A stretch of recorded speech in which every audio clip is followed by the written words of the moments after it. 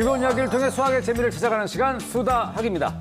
자, 여러분, 이 4차 산업혁명 시대가 되면서 이 새로운 직업들이 많이, 다양한 직업들이 생겨나고 있다는 그런 이야기 들어보신 적이 있으실 텐데요.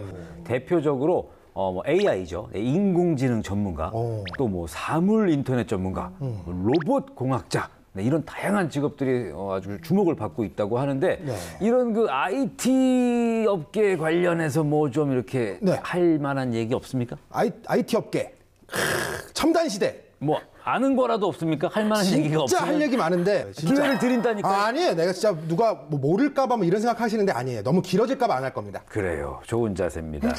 차라리 이럴 때는 그냥 듣는 게 낫죠. 그렇죠. 네, 이분들을 모시고 오늘은 또 어떠한 수학 이야기를 들려주실지 빨리 모셔보도록 하겠습니다. 김태식 선생님, 손은지 선생님 나오셨습니다. 안녕하세요. 안녕하세요.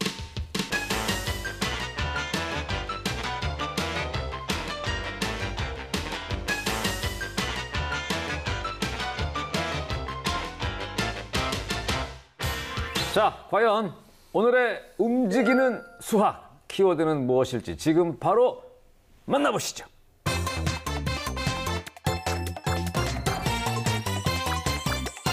그렇습니다. 이것이야말로 예 최첨단이지요. 이야. 오늘의 주제는 네 빠밤 로봇입니다. 로봇. 로봇. 예 그야말로 지금 세상을 움직이는 수학이 로봇 안에 정말 우리가 자세히 아직 모르지만 그렇죠. 얼마나 많이 숨어 있겠습니까? 수학 그 예, 자체죠. 예, 예. 음. 어, 이 로봇 공학자가 유망 직종이다 이런 얘기도 제가 어, 처음에 서두에 좀 얘기를 좀 했는데요, 선생님 어떻습니까? 사실 저 어린 시절에 로봇 만화 많이 봤었거든요. 아.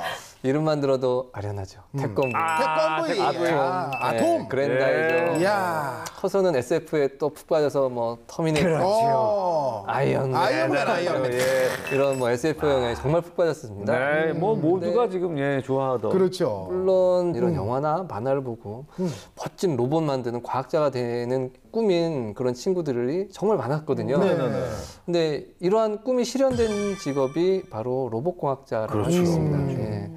그래서 자세히 살펴보면 이미 일상의 많은 부분에 로봇은 스며들어 있습니다. 뭐 로봇 청소기, 어. 식당에서 음식을 서빙하는 로봇, 어. 그렇죠. 공장에서 작업을 도와주는 기계 팔까지. 그렇죠. 이야, 어, 맞아요. 저도 가봤습니다. 네, 그 네, 네. 기계 로봇이 서빙해주는 예, 식당. 예, 맞습니다. 예. 그래서 로봇은 앞으로 더 다양해질 것 같은데 음. 그만큼 이를 다룰 수 있는 로봇 공학자가 주목을 받고 있습니다. 어. 사실 로봇 공학은 워낙 또 전문적인 영역이라서 용어도 굉장히 낯설고 그쵸. 어려운 부분이 많아요. 어. 그래서 관련 수학만 해도 뭐 미분, 적분, 행렬, 수치 해석, 어. 통계, 확률 뭐 정말 많거든요. 다, 예, 다 별로 안 친했던 네, 그 로봇, 로봇까지는 좋았는데 단어들이 좀 예, 그러네요. 예, 예.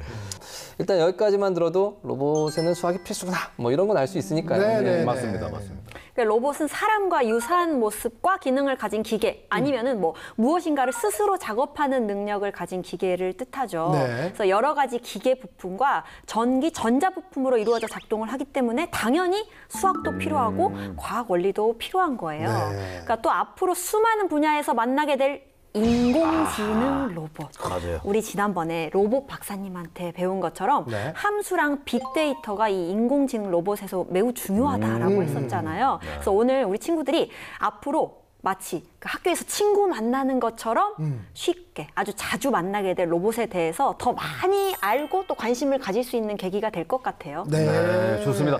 아마 저희가 영상을 보여드리면 우리 학생들 정말 눈을 뗄 수 없을 것 같은데 학생들뿐만이 아니라 우리 학부모님들도 야 요즘 로봇이 저 정도야 이러고 신기함에 예, 눈을 못 뗄 것 같습니다. 지금부터 바로 다양한 로봇들의 세계로 떠나 보시죠.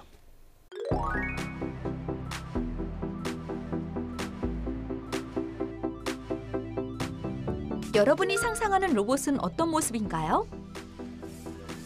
여기 두 팔을 자유자재로 흔들거나 저 뭘 것 같아요. 이 세상 모든 것을 사랑할 수 있을 것 같아요. 울고 웃는 표정 부자 로봇부터 동물 로봇까지 다양한 로봇들을 몽땅 만날 수 있는 곳이 있습니다. 그 중에서도 가장 눈에 띄는 사람을 꼭 닮은 이 로봇. 이 친구가 얼마나 똑똑하냐면요. 스스로 공을 감지해 찰수 있고 굴러간 공을 따라가기도 합니다. 이처럼 사람의 신체는 물론 주변을 인식하고 그 결과에 따라 각종 명령을 처리하는 인간형 로봇을 휴머노이드 로봇이라고 부릅니다. 이 로봇은 OP2라고 하는 로봇인데 휴머노이드 로봇이고 어, 실제 사람의 4분의 1 정도 크기로 만들어진 로봇입니다. 주로 연구용으로 사용이 되는데 로- 휴머노이드 로봇의 보행이나 여러 가지 자세나 가지 움직임을 또 다양한 연구를 하는데 활용됩니다. 어, 그래. Let's shake hands. 정확하게 사람의 손을 읽어낸 뒤 위아래로 팔을 흔드는 똘망이. 초등학생 체형을 가진 또 다른 휴머노이드 로봇인데요. 그런데 똘망이는 어떻게 넘어지지 않고 두 다리로 척척 잘 걸을 수 있는 걸까요? 휴머노이드 로봇의 경우에는 보행을 하는 중에 이제 앞이나 뒤로 또는 양옆으로 기울 수가 있습니다. 어, 그래서 이런 기울었을 경우에 그 자세를 다시 보정을 해 주어야 로봇이 이제 안정적인 자세로 계속 보행을 할 수 있습니다. 로봇의 자세를 롤 피치 요와 같은 각으로 이제 표현을 할 수 있습니다. 우리가 앞을 향해 걷는다고 생각해 볼까요? 이때 가상의 축이 있다고 하면 이 축을 중심으로 두 다리가 움직일 때마다 오른쪽 왼쪽 또는 앞뒤로 몸이 자연스레 들썩이게 되죠. 반면 사람과 달리 로봇은 좌우, 앞뒤를 얼만큼의 각도로 움직일지 하나하나 입력해 줘야 해요. 여기서 좌우 흔들림의 각도 롤, 앞뒤 기울기의 각도 피치, 또 걸어가는 방향에 따라 몸을 회전시키는 각도 요. 이 세 각도가 정확한 값으로 맞아 떨어져야 합니다. 즉 좌우, 앞뒤, 회전도의 각을 알맞게 계산해 로봇 속에 입력하면 완벽한 중심을 잡고 사람처럼 걷게 되는 거죠.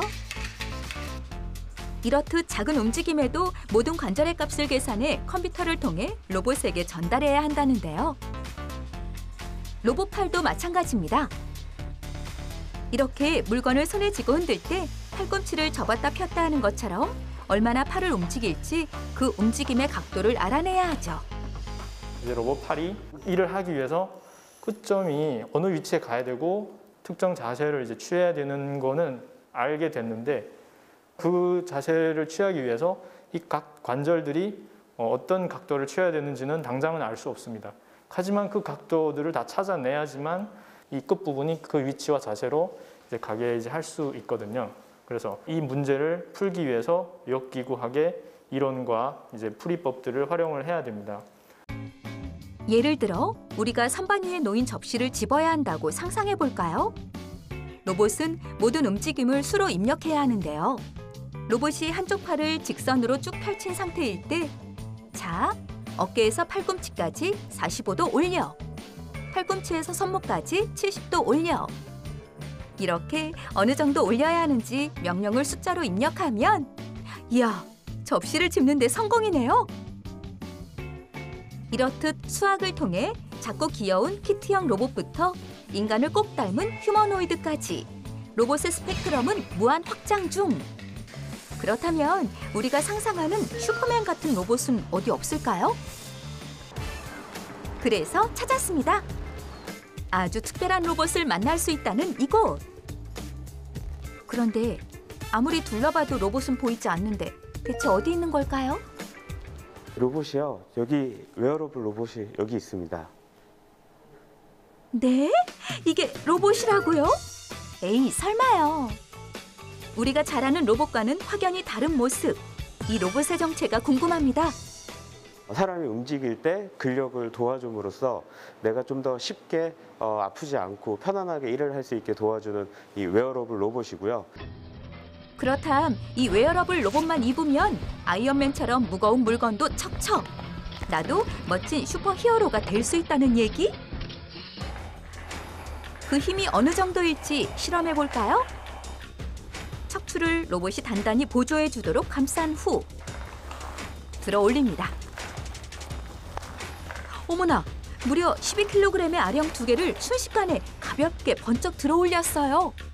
그냥 들었을 때는 허리에 부담이 많이 가는데 어, 착용하고 들었을 때는 보조 역할을 해줘서 들 때 좀 더 수월하게 들 수 있었습니다. 사람이 몸을 숙일 때 생기는 운동 에너지를 로봇이 스프링에 저장했다가 사람이 허리를 펴는 순간 스프링의 탄성이 힘을 더 많이 낼 수 있게 도와주는 원리래요. 그래서 무거운 장비를 착용하고 신속히 이동해야 하는 재난 상황에서도 큰 도움이 된다고 합니다. 로봇은 여러 개의 기본 기술들이 적절하게 잘 융합이 돼야지만 만들어지는 게 로봇입니다. 그래서 어, 만약에 이 로봇공학을 하고 싶다라고 했을 때는 수학, 어, 전기 전자, 프로그래밍 등등 굉장히 많은 분야에서의 지식이 골고루 갖추고 있어야 아주 훌륭한 로봇을 만들 수 있다라고 생각을 합니다. 사람과 함께 로봇이 공존하는 세상. 이제 우리의 상상은 현실이 되고 있습니다. 그 중심에는 수학이 있다는 사실 꼭 기억해 주세요. 표정 연기를 로봇이 그니까요. 우리보다 잘하고 슬픈 표정을 아주. 예, 공도 더 잘 차고 우리보다 다 잘해. 그러니까요. 너무 슬프네요. 대신에 필근이보다 잘 먹지는 못하겠지. 아, 그럼 그거는 로봇이니까. 어쩔 수 없지. 그거라도 덤벼라. 위안을 예 삼으시고요. 어쨌든 이 영상 속에 나온 어, 수학 원리 말고도 또 로봇을 움직이는 다른 수학이 좀 많이 있을 것 같습니다. 좀 소개를 해주시죠. 네, 맞아요. 주변의 이 지형 지물과 그다음에 저장된 좌표를 비교해서 로봇이 스스로 위치를 파악하는 것도 이 원리가 수학이라고 볼 수 있거든요. 이 예를 들어서 요즘에 가정에서 많이 사용하고 있는 로봇 청소기 아, 청소기. 있잖아요. 음. 로봇 청소기가 상단에 장착된 카메라가 아, 맞아요, 카메라가 맞아요. 있어요. 그런 게 있죠. 이걸로 천장이나 벽면을 찍어요. 어. 자, 찍습니다. 그 이후에 밝고 어두움 또는 뭐 무늬가 있고 없고 이런 특징을 구별해내서 네. 밋밋해 보이는 실내의 벽면을 각각의 특징을 갖춘 수많은 구획으로 구분하는 거예요. 오. 그래서 좌표 구간을 설정해서 이거를 지도를 만드는데 이걸 우리가 이제 매핑한다라고 얘기를 하거든요. 음. 그래서 거실과 방, 집안 곳곳을 막 여러 차례 돌아다니면서 이 같은 행위를 여러 번 반복해요. 그러면 그러면 그럴수록 로봇 청소기의 지도가 점점 점점 정교해질 수가 있는 것이죠. 아, 그러니까 스스로 학습해서 계속 점점 더 똑똑해지는 거네. 그렇죠. 스스로 학습을 하는 거예요. 너무 신기하네요. 이후 이 로봇 청소기는 구체적인 좌표를 바탕으로 자신의 위치, 내가 지금 어디 있는지를 정확히 유추해낼 수가 있는 것이죠. 어, 신기합니다. 진짜 신기하다. 예, 예. 야, 우리도 뭐- 잘못 찾아가는데. 이런 것들을 필요한데 여러 가지 수학이 많이 쓰여요. 근데 네. 뭐그 중에 또 수채석이 라는 걸 좀 설명하고 싶은데요. 네. 뭐 예를 들어서 로봇을 움직이려면 뭐 위치를 잡아주고 뭐 위치를 찾아주고 할 때 그 여러 가지 방정식을 풀어야 돼요. 그래서 뭐 편미분이라든지 뭐 선미분 방정식이라는 이런 걸 풀어야 되는데 이런 낯설은 단어들만 들어도 굉장히 어렵고 뭐 복잡할 네, 것 같은 네. 느낌이 드실 네, 텐데 네. 근데 로봇이 움직이는 것들의 어떤 근사값을 구해야 되니까 이게 사실 굉장히 어려운 부분입니다. 복잡하고. 그래서 이 복잡한 계산을 사실 사람이 아니라 예, 컴퓨터에 예, 입력해서 좀 쉽게 풀어 나가는데요. 음. 예를 들어 뭐 로봇 팔이 움직일 때 속도를 구하려면 뭐 위치를 미분하면 속도가 되고 뭐 속도를 미분하면 가속도가 되는 그런 식은 어, 우리 사람이 입력을 해주지만 음. 그런 것들을 계산하는 건 컴퓨터나 그 인공지능에 의해서 하는 거죠. 네. 이렇게 로봇이랑 함께 살아갈 수밖에 없는 이 시대가 되다 보니까 그리고 앞으로 계속해서 로봇은 더 발전을 하겠죠. 아무래도 어렸을 때부터 이 관련 활동들을 좀 미리 알아두면 도움이 되지 않을까요? 음. 어, 맞아요. 이거 초등학교에서 수학 시간에 할 수 있는 것 중에서도 있어요, 내용이. 5학년 1학기 3단원 규칙과 대응 단원에 네. 탐구 수학 부분에 요 내용이 있거든요. 아. 활동 제목부터가 로봇의 규칙을 찾아볼까요? 이렇게 딱 쓰여 있습니다. 그래서 로봇의 규칙을 어떻게 만들고 싶은지 각자 생각해보고 그다음에 미래의 생활에 필요한 여러 가지 로봇을 생각해보는 활동을 하는 거예요. 네. 예를 들어서 아이들이 이런 규칙을 만들 수 있어요. 넣은 양, 나누기, 백은 나오는 양. 그러니까 나누기 100을 했다는 거는 뭔가를 넣으면 100분의 1로 줄어들어서 나온다는 나온다. 거죠. 오. 요것을 로봇으로 만들었을 때 뭔가 쓸모가 있으려면 어?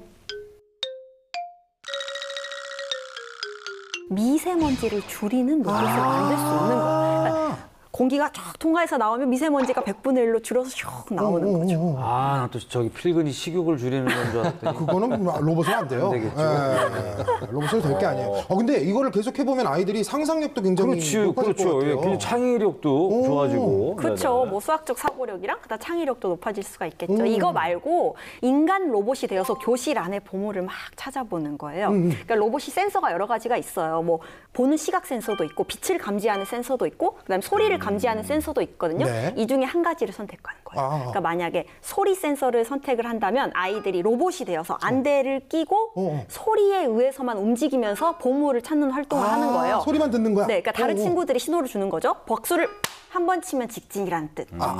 두 번 치면 좌회전. 세 번 치면 우회전. 이런 식의 활동을 하다 보면 아이들이 그 로봇의 작동 원리를 자연스럽게 이해할 수 있는 거예요. 아, 재밌겠다. 어, 그리고 이거 같이 하면 진짜 재밌겠는데요? 그러게요. 예, 예. 음식 냄새만 가지고 위치 찾을 수 있죠.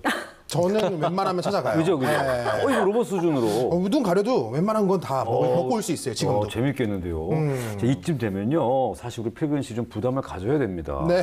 계속 뭐 만들고 이랬잖아요. 그렇죠. 오늘 로봇이라고요, 주제가.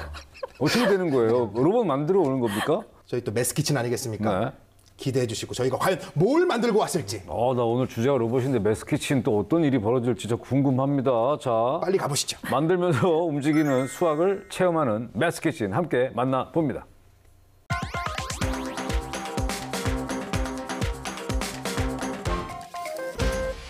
안녕하세요, 송필근이고요. 안녕하세요. 김수진입니다. 네, 선생님, 뭐 이제 이쯤 되면 뭐 해야 될지 아시죠? 그럼요. 알고 있죠?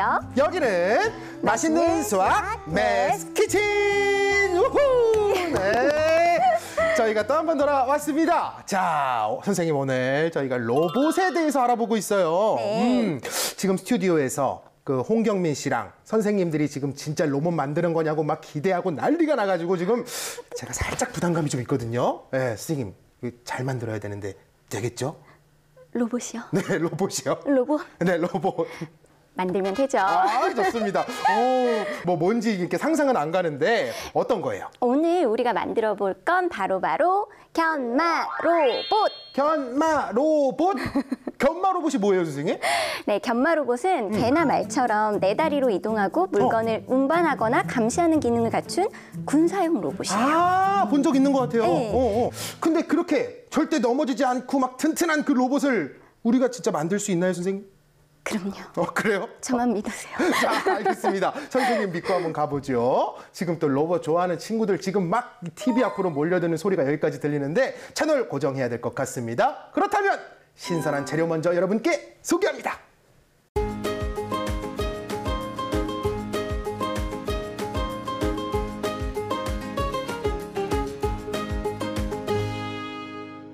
지금부터 견마 로봇을 만들어 볼 건데요. 선생님, 만들기 전에 어떤 걸 알아야 될까요? 어, 이 견마 로봇은 모터를 동력으로 하는 기계 장치예요. 아, 모터. 네, 오, 오. 모터요. 그렇다면 혹시 미리 만들어 오셨나요? 네. 좋습니다. 네. 그럼 어떻게 만들어 오셨는지 한번 보시죠.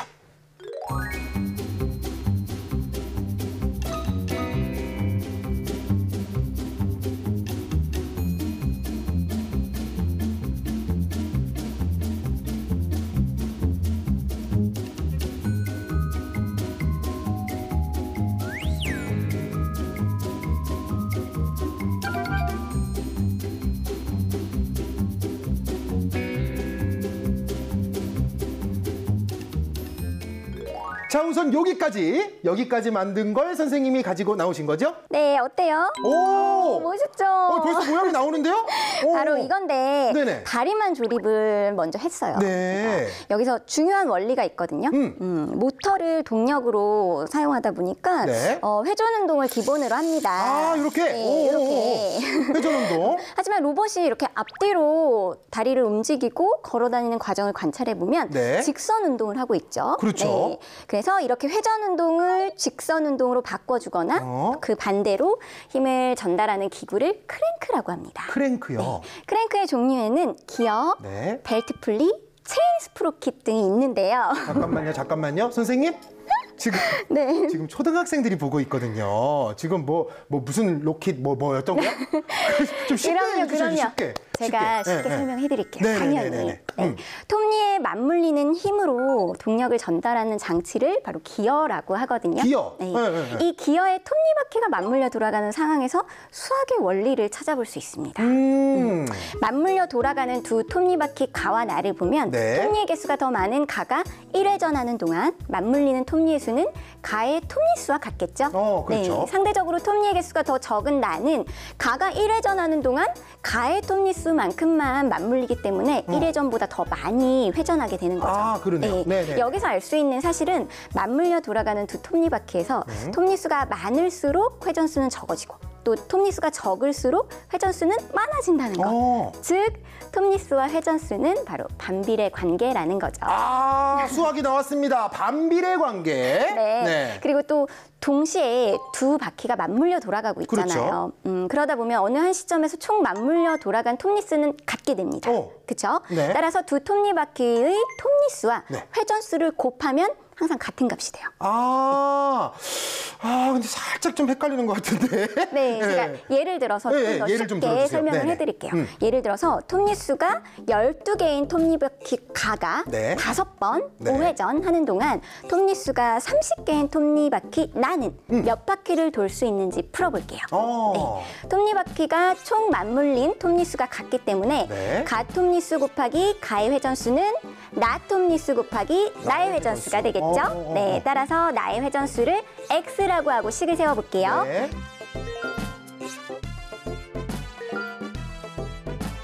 x 값은 2. 오. 네, 따라서 나 톱니바퀴는 두 바퀴 2회전 하게 되는 겁니다. 아, 네네네. 네, 이와 같이 견마 로봇은 여러 종류의 톱니바퀴가 상황에 따라서 맞물려 돌아가면서 힘이나 속도 또 방향 등을 조절하는 크랭크 기구를 통해 다른 장소로 이동하거나 몸을 움직이게 되는 거예요. 아하, 모터, 뭐 기어 이런 걸 들으니까 우리 또 저번에 한번 저번 시간에 만들었던 그 자동차 생각이 또 나요. 오, 그쵸. 음. 맞아요. 견마 로봇에 사용된 크랭크 기구가 사용된 대표적인 게 바로 자동차 엔진입니다. 아, 자동차 엔진은 여러 기관으로 이루어져 있는데 네. 피스톤과 실린더로 구성된 열기관에 의해서 발생된 직선 왕복 운동을 네. 회전 운동으로 변환시켜주는 크랭크 기구거든요. 아. 어, 또, 어, 좀 쉽게 볼 수 있는 자전거 페달. 페달. 음, 자전거 어, 어. 페달을 밟는 동작을 옆에서 한번 바라보세요. 어, 어. 약간 다소 좌우로 움직이긴 하지만 기본적으로 상하 왕복 운동을 음. 그렇죠. 합니다. 어, 어. 네, 페달을 밟으면 무릎은 아래로 내려가고 그렇죠. 또 그러면 페달이 원을 그리고 음. 자전거의 디스크와 체인이 회전하게 됩니다. 그렇죠. 네, 어, 이때 음, 이에 따라서 직선 운동이 회전 운동으로 바뀌면서 네. 자전거를 앞으로 나가게 하는 거예요. 이야, 최고입니다. 이렇게 또 자전거로 예를 들어주시니까 더 머릿속에 쏙쏙 들어온 것 같습니다. 자, 그렇다면 이제 너무 궁금해요, 선생님. 어떻게 된 거야? 어떻게? 아, 완성품이 됐어요? 어떻게 됐어요? 빨리 네, 보여주세요. 됐어요, 좀. 됐어요. 잠깐 어, 어. 진정하시고 어, 네, 빨리, 네, 빨리, 제가 빨리. 꺼내볼게요. 오! 오! 짜잔! 와, 완성품 이! 야, 완성됐어요! 멋있죠? 오, 뭔가 귀여운데? 이게 얼굴에 여기 눈도 좀 있고. 네, 귀엽게 생겼어요. 로봇이에요. 아, 귀엽다. 자, 과연 움직일 것인지? 그래, 그래. 그래, 온다. 그래, 오, 일로 와, 일로 와, 일로 와, 온다, 온다, 온다, 온다. 어때요, 어때요, 자, 어때요? 갑니다. 어때요? 가고 있어요. 아, 뭔가 귀엽다. 야, 성공했어요, 선생님. 와. 오, 야, 이거 진짜 약간 살아있는 것 같은데? 그쵸, 잘 만들었죠? 그러니까요, 이거는 진짜 강아지 같아요. 네, 어. 견마 로봇입니다. 그러니까요. 털도 안 빠지고 너무 좋은데. 어. 야, 진짜 오늘도 마찬가지로 이렇게 직접 만들어 보면서 수학의 원리들을 배워보니까 더욱더 즐거운 시간이 아니었나 이런 생각이 듭니다. 네. 선생님, 오늘도 그러면 이제 또 마칠 시간이 찾아왔습니다. 좀 아쉬운, 아쉬운데. 선생님, 우리 이제 고정 코너잖아요. 우리 네. 다음 주에 또 만나면 되잖아요. 네, 네. 아, 마무리하기 전에 또 외쳐야 될 것이 있죠. 한번 외쳐보겠습니다. 여기는 맛있는 수학 Math Kitchen. 다음 주에 만나요. 안녕. 야, Math Kitchen. 진짜로 로봇을 만들었어요. 물론 필근 씨가 만든 게 아니라 우리 김수진 선생님이 만드셨지만. 아니, 왜 맨날 저를 이렇게 빼놓고 얘기하세요? 아, 저, 야, 대, 야, 대단한데. 보셨죠? 예. 예, 우리 그 견마 로봇 크, 이게 보셨죠? 막 이렇게 움직이는 거. 예, 그걸 딱 만들고 왔습니다. 어떻게 저러죠? 아우, 멋있네요. 그럼요. 그러니까 어떤 형태의 로봇에 있어서든지 사실 흔들림 없이 안정적인 이동을 하기 위해서는 이 무게의 중심과 배분이 적절하게 이루어져야 하거든요. 네. 그래서 로봇을 설계하는 데 있어서 중요한 이 무게 중심이 또 무엇인지 알아보고 그다음에 아이들이랑 무게 중심을 직접 구하는 활동을 해보면 더 도움이 될 것 같아요. 우리 사실 무게 중심 배웠잖아요. 어. 무게 중심. 한 물체의 모든 중량이 집중된 것으로 이 간주되는 가상의 지점이잖아요. 네. 뭐 실제로 보이는 건 아니지만 이 점을 받쳐주기만 하면 네. 어느 방향으로도 기울어지지 않고 평형을 이루게 되는 거예요. 사각형의 무게 중심은 이 두 대각선이 만나는 지점인 거고요. 삼각형의 무게 중심은 꼭지점에서 각 대변의 중점을 이은 세 개의 선분이 만나는 그 지점이거든요. 이렇게 무게 중심을 찾아보면서 또 쉽게 이해할 수 있을 것 같아요. 음, 제가 이 움직이는 이 수학 로봇 편을 준비하면서 쉽게 이해할 수 있는 부분도 있었고 또 좀 어려운 부분도 많이 있었는데 그래도 그렇게 이해하고 이렇게 전달할 수 있었던 것은 네. 저는 수학을 알고 있었기 때문이라고 생각을 해요. 그렇죠. 예. 수학 선생님이시니까. 어, 저희는 들어도 몰라요. 그러니까 로봇의 기본이 되는 어떤 수학이라든지 과학이라는 것을 오늘 확실히 알았으니까 나중에 혹시 로봇에 관심 있는 학생들은 꼭 지금 배우는 이 수학이라든지 영어라든지 과학이라든지 이런 기초 과목들을 게을리하지 말고 부단히 열심히 노력하기 바랍니다. 네. 그러고 보면 그 로봇 개발하는데 또 영어로 된 용어는 그렇죠. 얼마나 많을 것이며 그렇죠. 예, 이런 것들이 정말 어, 기초 기본부터 좀 착실하게 쌓아가야 될 필요가 있다 이런 생각을 해봅니다. 네. 오늘 로봇을 움직이는 수학에 대해서 좀 얘기를 나눠봤는데요. 어 글쎄요 뭐 수학 용어나 이런 것들은 사실 이제 고등학교 수준의 막 그런 용어들이 좀 많이 나오다 보니까 아직까지 뭐 우리 초등학생들한테는 좀 어, 수학 원리나 용어들은 좀 이른감이 있고 어려울 수 있겠습니다만 네. 뭐 보다 중요한 거는 그 용어가 어려워서가 아니라 이 로봇의 그 원리를 만들어내는데 수학이 그만큼 중요한 역할을 하는구나 이거를 깨닫는 과정이 제일 어, 중요했던 것 같습니다. 네. 그리고 이제 로봇 관련된 활동은요 우리 학부모님들이 아이들과 같이 겪어보고 체험해 볼 수 있는 게 굉장히 다양하게 많이 있을 것 같거든요. 이 로봇 관련된 체험도 아이들과 많이 많이 함께 해주시길 바라겠습니다. 자 TV뿐만이 아니라 네, 유튜브 YTN 사이언스 수다학 찾아오시면 또 이 내용을 또 함께 접하실 수 있으니까 많이 찾아와 주시길 바라고요. 오늘도 좋은 얘기 함께 나눠주신 김세식 선생님, 손은지 선생님, 필근 씨 너무너무 감사드립니다. 저희는 다음 시간에 더욱더 알차고 유익한 내용으로 찾아오도록 하겠습니다. 고맙습니다.